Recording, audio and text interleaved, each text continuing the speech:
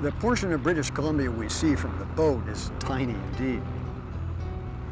But the combination of the working coast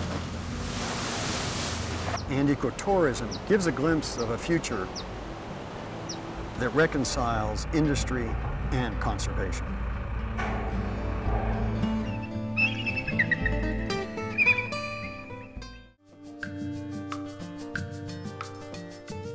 Funding for In the Americas with David Yetman was provided by Agnes Howard.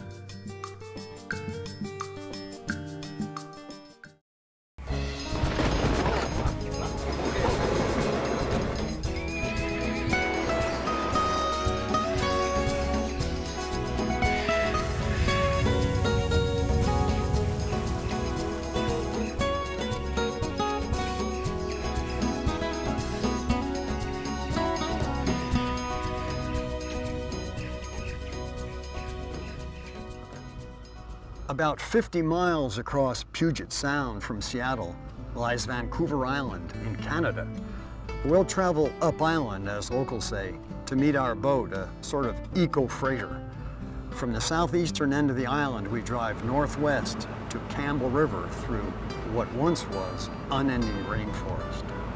The province of British Columbia in Canada is nearly as big as the state of Alaska. Vancouver Island off the coast is bigger than many states in the United States. It's only one of several thousand smaller islands. Getting to those other islands can also be tricky. And there are places where the only way to get to the mainland is from one of those islands. Just a few feet from the highway is one of the few remaining tracts of temperate rainforest left in southern part of Vancouver Island.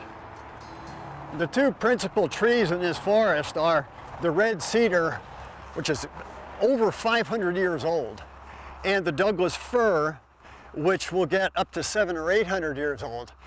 Now, these trees, particularly the red cedar, were of extraordinary value to native peoples for a hundred different products, but they're even more valuable now for commercial lumber, and thank heavens they're preserved protected here in this park. It's hard to estimate the diameter of this tree, but look, my tip to tip fingers span is 72 inches or six feet. So if we take a bunch of Yetmans, there's two, four, six, circumference divided by pi, it's over 10 feet in diameter, and it is immensely tall. Another common tree in the rainforest here is the maple. It's, the maple leaf is a symbol of Canada. Maples are everywhere, but here in the rainforest, the leaves get very, very big.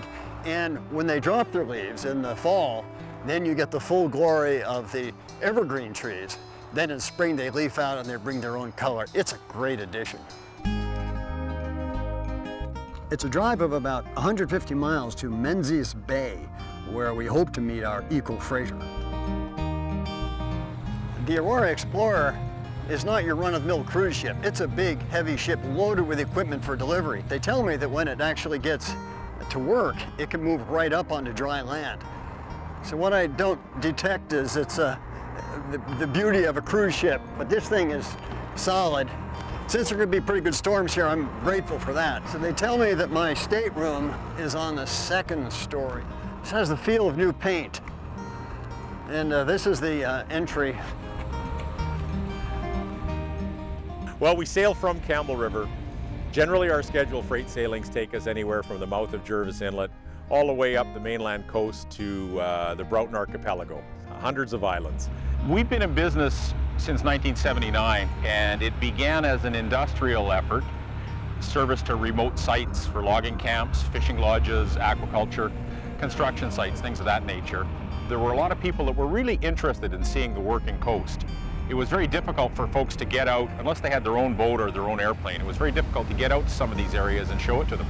And we knew that we'd have something successful and interesting if we were able to combine it.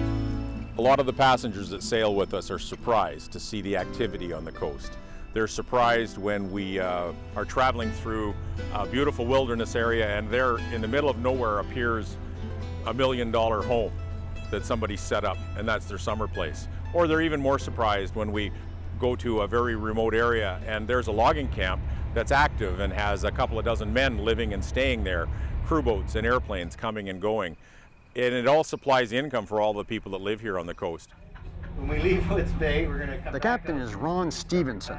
The passengers number only 11, few enough that Ron gives us personal briefings about our itinerary. Unless you think we're on a honeymoon cruise on the Aurora Explorer, we take a look at what they're actually hauling down here. Um, there are pickup trucks. Uh, there is a large container which someone said has furniture in it. There are large drums of fuel, and there are numerous other mysterious objects that only later will become apparent. Well, we move everything from heavy equipment to groceries. Uh, we move dangerous cargo, we move a little bit of fuel, we move a lot of heavy equipment back and forth, and we move a lot of the supplies that the forest industry and the construction industry need to survive out here. On any given sailing, we'll have heavy chains and wires for the log booms that move back and forth. We'll have excavators that are used for building roads, right down to cases of eggs for some of the coastal restaurants and the private facilities that are up to the coast.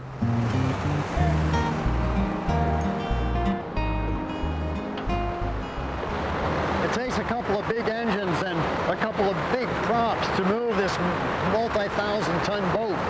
We're only doing between seven and eight knots. That's pretty good speed and it'll get us where we're going.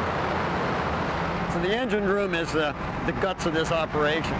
Well, we- we've got uh, a couple of main engines, and we've got two generators, three different pumps, air compressors, all kinds of electrical to run the entire ship. Those engines power a Canada-built boat that's been around. It's 135 feet long, 35 feet wide, of 305 gross tons, with a three-story cabin and a big deck. If there's any one product that British Columbia and Canada is known for, it's lumber. It's not quite the industry it was 50 years ago, but there are logs everywhere. And water is a great place to uh, get them and move them. It's cheap transportation.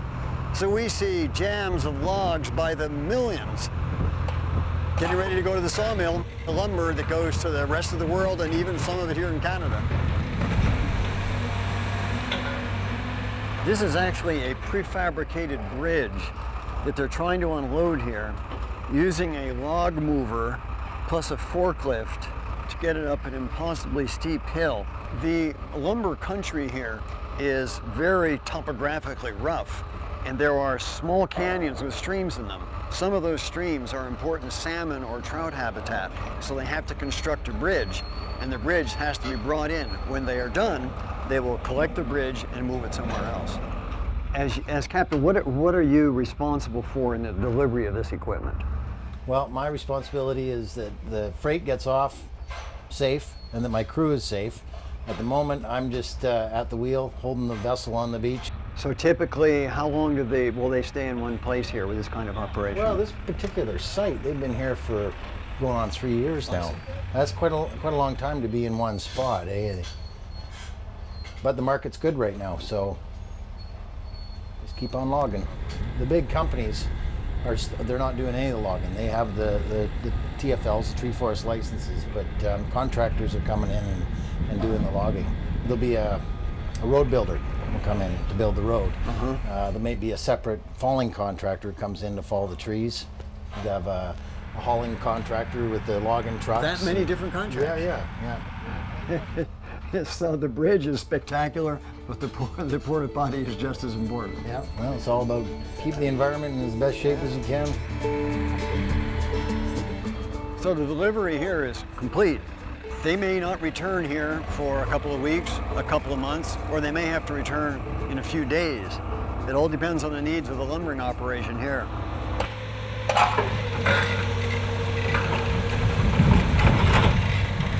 My guess is that this inlet, which is called Bute Inlet, was probably originally a fault, a crack in the Earth's surface, and the glacier followed that crack, and we've got 5,000 feet of glacier and all that weight moving down. It just carved out this valley and rounded all the sharp corners out.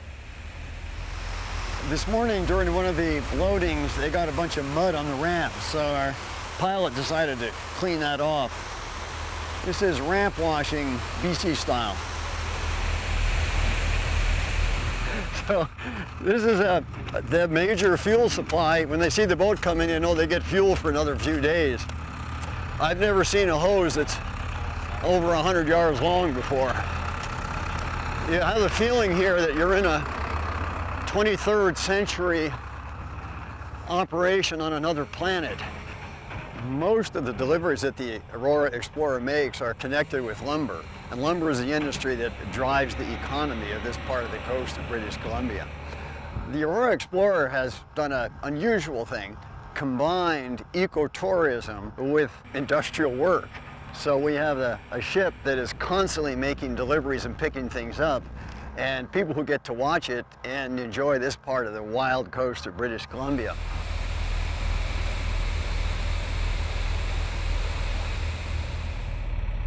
Some of this machinery looks like it's out of Star Wars. It's unlike anything I've seen before. Years ago, you used to have donkey punchers, guys that learned how to operate the machines on the job. Everything was friction related or air related, and the machines were large and really, really hard to run. Now, things have got highly mechanized and highly technical in the forest industry. The complexity of the operation here is fascinating. Uh, the logs arrive, they've already been machined. They are often felled by automatic tree felling machines and they're cut up before they arrive down the hill here. These uh, fellows with the chainsaw are just smoothing off the edges. They're finishing them so that they can load as many as possible in these log grapplers and they will then be bound in cables and released and roll down into the ocean. They're already sorted by size. They will be put into huge gangs and tow it to Vancouver, which is about a two-day tugboat ride away from here. A log isn't just a log. These are balsam, which is a very high-valued lumber, and these will go to Japan. This log is worth here about $900. By the time it gets to Japan and is lumbered, it's probably worth 10 times that much. The captain says this is a um, grocery delivery. This is a floating hotel, warehouse, store, and they get their provisions from the Aurora Explorer. So each two weeks, they bring in a massive amount of groceries, including ice cream, fresh meat, and fresh vegetables. There's enough windows in there that tells me there's a lot of lumbermen staying in this place. Oh, it could be 50 people. Really? Yeah. So they come here to eat and sleep, and then they're back out to work. Yeah, right? yeah, they, will be on they'll be on shift, huh? and uh, they, will their shift could be uh, seven days on, uh, seven days off, or it could be ten days on, four days off, whatever the company decides. And the contractors provide food and lodging. Yeah, it's all contractors. So yeah. so you, you you'll have maybe four contractors here. We can see some of my shipmates up here. They find this as interesting as I do. Uh, they have not, most of them, been to this part of Canada before, although they're all Canadians. So it's as new experience for them as it is for me. This is industrial, that's touristic up there. The question of the industrial work that we service and the sort of eco-friendly tourism that we apply to it as well, both sides are learning to live with the other. Managing the forest is better than leaving it stagnant in many cases.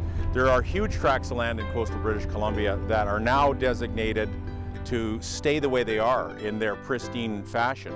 And there are other areas where we've harvested the timber for so long that it's a more suitable choice to continue harvesting it.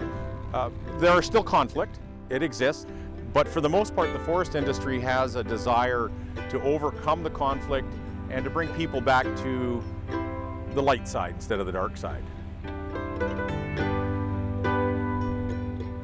This is an industrial operation. Yeah. And we got cable down here, we got cables, we got pallets, yeah. forklifts, we got a ramp, we got a boom, yeah, a crane, all that stuff. On. It's yeah, it's it's a great combination. Run-of-the-mill cruise ships don't carry trucks that have detonators in them and have explosive charge signs on the side and huge pallets, sacks full of explosives.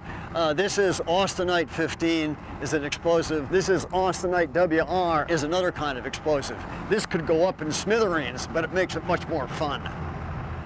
This equipment brings back my, my lust for adventure, and I don't see any of the crew around, so this is an available forklift. It takes me back to my youth. Uh, Ron, this is Dave down here on the deck, just uh, checking in to make sure uh, everything's under control. Everything is fine and dandy. The next stop is uh, Blind Channel Resort for a recreation stop. Chance to go for a walk in the forest. In the United States, we take that to mean an amphibious assault is about to take place. now, I don't know what Canadians do about that. well, we never, we never. We just walk ashore. Oh, I see you walk ashore. We don't assault anybody. I see. We just That's right. ashore. You're much more gentle people than these rough, brutish Americans, right? So let's go. Let's go down. Every few hours, every third day, they stop and let passengers off. It's nice on these ramps to have places to keep you from sliding because it can get very wet here. But we are told we're going to be allowed to go walk through the forest, which is uh, about time. So Felipe tells me that this they call the snag, and it's here because nobody could cut it down 100 years ago. Well, you can see all the cedar rots in, the, center, Uh-huh. and uh, That compromises the, the value of the lumber then. Yeah, yeah, but but very often the top part could still be My goodness. solid wood. Even right now, you could probably have very very uh, valuable cedar at top. And you say that I can go inside. you can walk right in. I I'll think follow you. I don't think I don't think there are any bears. Now you tell me there's a a live tree that's even bigger than this? Yeah, it's not far from here. It's uh, it's much bigger. It's probably about 800 years old. I'm having a hard time gauging how tall that tree is because I can barely see the top. But I talked with Philippe. He says that probably 80 meters is a good figure. That's roughly 250 feet. That's a lot of tree. Yeah, we need everybody back by uh, quarter past. Um, uh, I could maybe stretch it out till 12:30, but uh, we're gonna want to get going by 12:30 at the latest. Okay, we're right on our way. We'll be there in, uh, in about 15 minutes. Okay, thanks. And now I'm being summoned back to the boat by the pilot, who is also my guide. When Philippe says get back to the boat, I get back to the boat.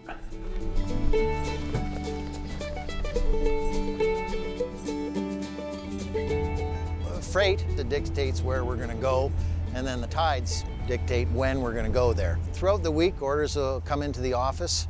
Um, occasionally, when we're out at sea, they'll, they'll call us up and there'll be new freight that comes up. You know, a piece of equipment will need to be moved. The people on the boat refer to this area as billionaire's paradise. apparently, a lot